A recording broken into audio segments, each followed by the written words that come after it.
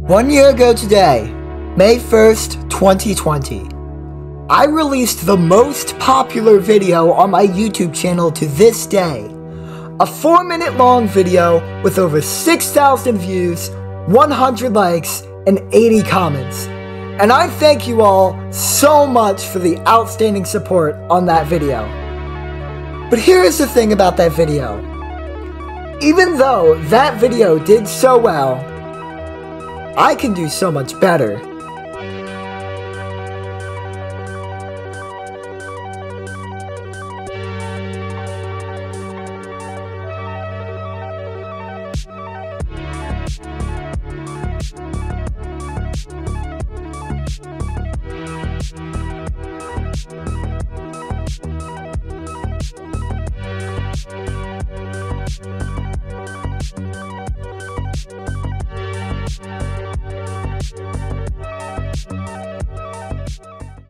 So anyways, what is Treelands?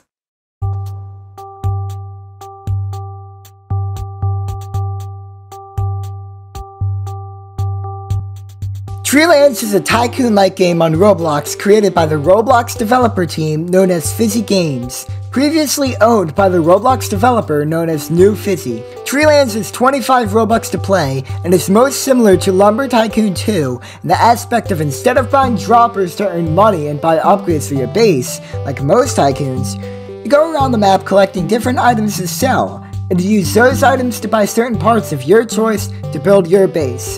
In Treeland's case, it's fruit instead of lumber. When you first play Treelands, you start off picking apples in the apple orchard in the middle of the map. Then you sell them in the shop to the NPC of the main developer, New Fissy. Once you gain enough money from picking apples, you can then buy a car and start your journey out into the map to find what fruits hide out there.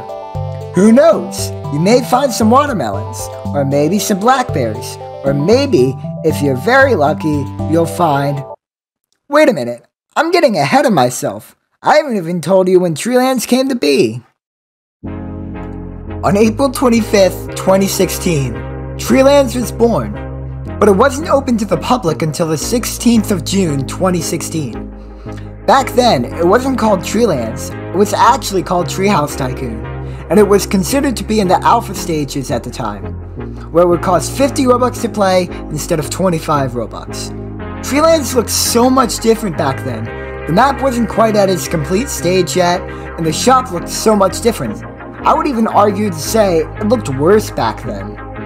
Back in Alpha, content creators such as Big Granny would let's play the game and would show off all the new things that would come out at the time. This was Treehouse Tycoon's main game of publicity at the time, knowing the game was new and didn't gain a huge player base yet. This is probably how Treehouse Tycoon's popularity got larger over time, even if it wasn't by a large margin like Jailbreak in 2017. You know how the saying goes, any publicity is good publicity.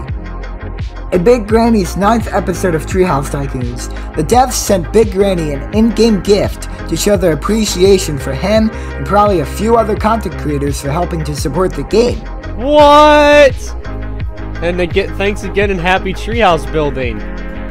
This really shows how much the devs appreciated the publicity of these content creators and want to see more from them in the future as the game progresses. But what else was so new in Alpha? Well, when Alpha was first released, there were only a few fruits, which consisted of apples, peaches, oranges, bananas, large bananas, and red, blue, green, and purple crystals. The vehicles in the game at the time were also at a much lesser variety, only including the little buggy, jeep, and pickup truck. Treehouse Tycoon definitely felt unfinished and had a long way to go, but the nice thing about it was it was finished enough for it to be fun and enjoyable. But here's the cool thing about unfinished games in development. They're going to get some pretty cool updates. And that's just what happened. Treehouse Tycoon was getting small but good updates over the course of Alpha. They wouldn't always be announced, but sometimes when you join the game, you may have seen some differences with the game. So anyways, what were added in these updates? Well, over the course of Alpha, there weren't too many big changes, up until the end of Alpha, that is. The changes were more gradual. These changes included small design changes to the map, Things like mountain and map structure and the shop building changed over time. Other small changes included additions of fruit, such as blueberries, Game Pass additions, such as the Superhuman and Glider Game Pass, and small additions to the build menu. It took a while for the devs to bring Treehouse Tycoon to a nice enough point to release for beta. But once they did, it was about time to bring Treelands Beta to life. July 19th, 2016. Treelands Beta was finally released. This meant the game's price was finally dropped from 50 Robux to 25 Robux. The release of beta was a big moment for the developers. It meant they were one huge step closer to the game's release. So anyways, what was added in beta that was so different from any of the other game updates? Well, let's start with the basics. In the beta update to Treelands, Fissy Games finally added a day, night, and a rain cycle to the game, as well as more build options. Some huge map changes were added as well. Not only did they change the shop design a little again, but they hugely reworked the outer map of the game. Doing this leads to many new places to find some of the new fruits added to the game. Wait, new fruits? That's right, with the addition of the beta update to Treelands, Fissy Games added three new fruits. Watermelons, blackberries, and durians. All the fruits added have their own special feature that separates them from every other fruit in the game at the time, which changed how many new fruits would work in the future. The first one on the list is watermelons. Watermelons only spawn every other day when it's raining. They spawn in the melon patches in the middle of the jungle. Watermelons, in my opinion, are the best fruit in the game. For the sell price of 40 silver and the fact that they spawn every other day is an absolute win. Next up is blackberries. Blackberries spawn every day in the evening. Despite the fact that you can get a good amount before night arrives, and that they are 9 silver each, no one really goes to pick them. So blackberries are a great fruit to claim in almost every server around the evening time. And last but definitely not least, the durian. Back in the early beta days, the durian was basically the god fruit of Treelands, being 80 silver each, the durian rarely spawns in groups of four in many different locations around the map, making them probably rarer than the legendary purple crystal. If you find a durian, consider yourself lucky. Yes, beta was out, and the future of Treelands was looking very bright. Having just started playing the game around this time, I got hooked to the game and started playing quite a bit. So why don't we get to the many updates that were introduced over the span of beta, shall we? January 14th, 2017, the vehicle update. In this huge update to Treelands, Fissy Games reworked how vehicles carry cargo. Now all the fruits have a weight aspect to them, making all the vehicles only able to hold a certain weight before they start to slow down. Along with the weight aspect, now certain slopes are super steep, making it so only certain vehicles can go up them. With all these new vehicle changes, why not add new vehicles? Treelands brought in new vehicles such as the dump truck and a few others.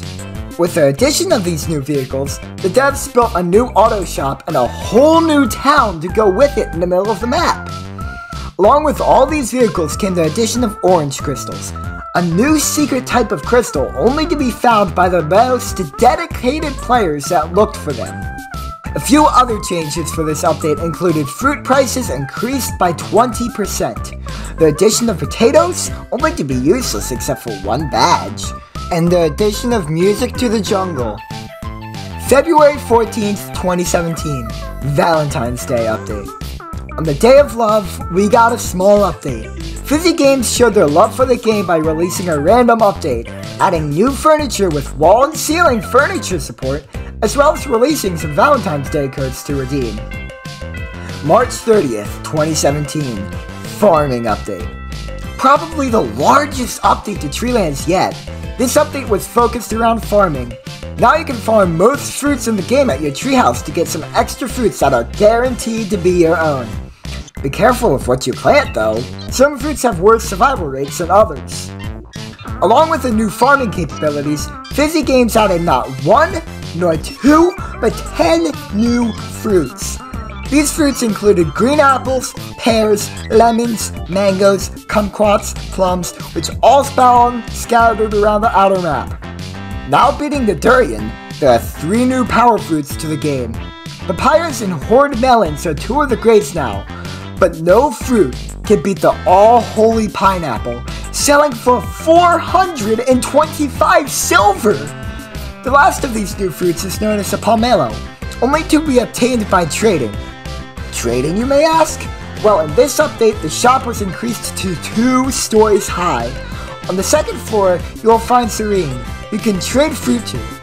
Once you trade with him, he will give you better fruit to sell, one of those being pomelos.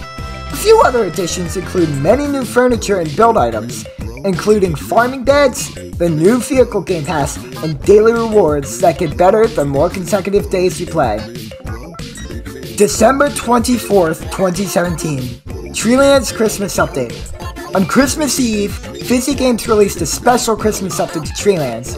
Packed with all the snow, the devs decided to add presents to the game that fans can open. Along with all the Christmas joy, Fissy Games added a new fruit? That's right, for a limited time you can find candy canes around the map to sell for 20 silver. Now how about that for some updates? You would think that with this huge streak of updates, that Fissy Games would continue to work long and hard, getting more updates out to prepare the game for its full release. But sadly, that's not wasn't the case, and this is where our story comes to an end. July 26, 2019. The lead programmer of Treelands and the owner of Fissy Games, New Fissy, came out with a statement on Reddit on why he suddenly stopped development on Treelands. Fissy goes on to talk about the two main reasons he left Fissy Games and Treelands. The first reason was the death of a very important team member. So, one of the developers, this is uh, pretty, this is pretty sad, guys. Named like Super Superhero. It was like spelled really weird and random caps and stuff. But she passed away. She dealt with the community and stuff. The cause of her death was never publicly announced by the developer team in order to maintain privacy. Fissy states how this caused a senior member of the team to spiral into a deep depression, which caused the atmosphere of the dev community to become very unhealthy and toxic, leading to Fissy's leaving of the team. The second reason was because Fissy was hitting a wall in which Treelands couldn't progress further. Fissy described how when he started working on Treelands, he was fresh out of high school and had no formal computer science training. And as you may have guessed, this caused the code of Treelands to be pretty bad, and in summary, as Fissy puts it, unmaintainable. After he left Treelands, Fissy went to work on Adopt Me. Oh god! Which, as you guys probably know, is my least favorite Roblox game. Fissy understood there were many like me who also didn't like Adopt Me. So that's where he goes on to explain why he chose Adopt Me. Fissy explains that he chose to focus his time on where he could make the most impact, which is on a Roblox game targeted to kids of today.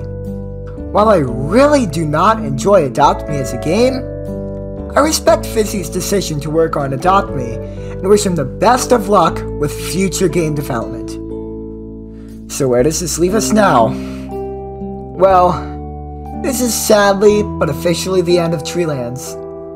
As much as we would like to believe the rumors of Fissy working on a second Treelands, the chances of him coming back to Treelands are very low. It sadly means that we have to deal with the bugs left behind. Gliders that don't work, glitchy trucks that don't function well, and probably more. But I've come to accept it.